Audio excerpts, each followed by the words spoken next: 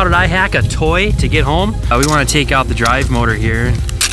Inside of this, there's some enamel wire, and we're gonna use that to make an electromagnet. I'm just carefully unspooling all of it. So what we wanna do is wind this onto this core. All these coils are going to create their own little magnetic fields. Those are going to work together in magnetizing the ferrous metal that we put inside of this. So here's our coil.